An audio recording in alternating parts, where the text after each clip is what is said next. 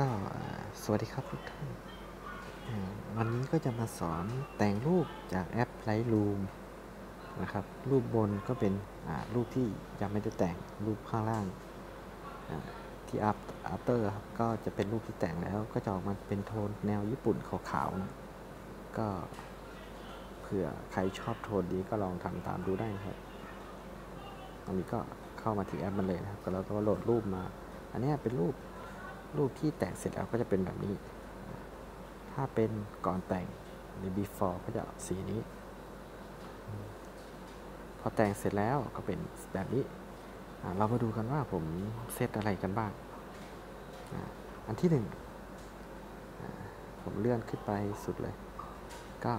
นะครับเนี่ยครับรูปพระรูป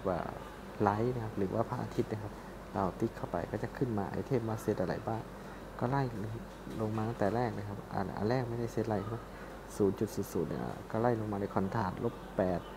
ไฮไลท์ลบสามสิบเอ็ด shadow ลบยี่สามสีขาวไว้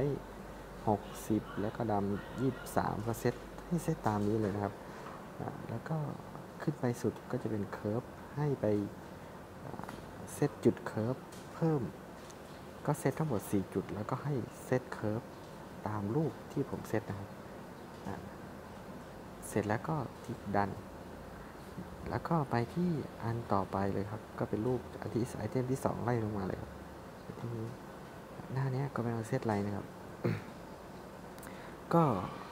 ให้เข้าไปที่ mix mix เลยนะครับ ก็ไล่มาเลยครับ สีแรกให้เซต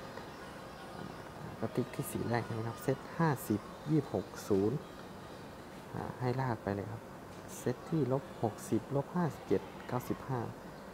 สีเหลืองให้เซตที่ลบยี่สิบเจ็ดลบห้าสี่ศูนย์สีเขียวเจ็ดสิบแปดลบห้าลบแปดสิบห้าสิบสี่เซตไปเลยเซตไปตามนี้เลยครับ สีเนี่ยสีฟ้าแล้วสี่สิบเอ็ดลบหนึ่งร้อยสิบเก้า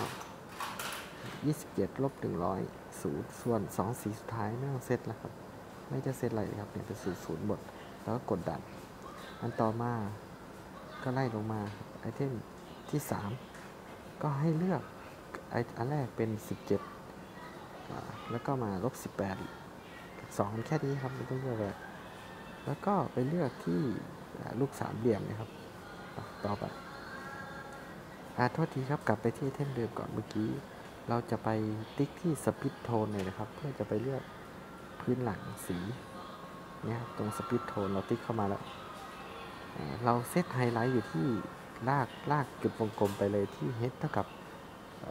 150 s เท่ากับ 3 shadow h ที่ 156 s ที่ 12 นะครับ ก็ตามนี้ก็เซตตามนี้แล้วก็กดดัน